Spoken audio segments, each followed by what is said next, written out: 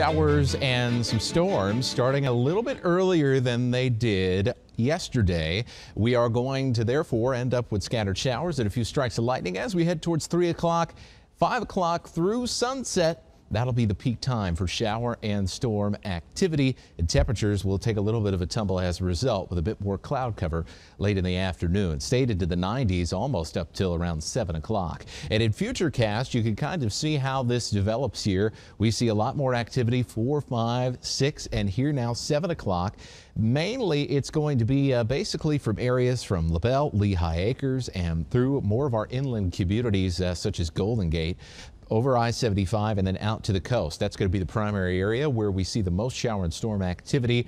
We got a couple showers that were hanging around the middle part of the day around Clewiston, Moore Haven, and the Lake O communities, but these are uh, not going to hang around too long. It's going to get a little bit quieter further inland. And we'll see a pretty similar pattern evolve as well as we go uh, into your weekend where we see mainly some coastal shower and storm activity, uh, mainly here uh, on the Gulf Coast of Florida. So that's Saturday, that's Sunday, 40 to 50 percent chance of rain. Temperatures will be on the uh, toasty side, 92 to about 93. We get a little bit of a break there on Monday, only 30 percent chance of showers and storms. Tuesday, Wednesday, bump up just a little bit, but overall conditions a little bit drier in the week ahead.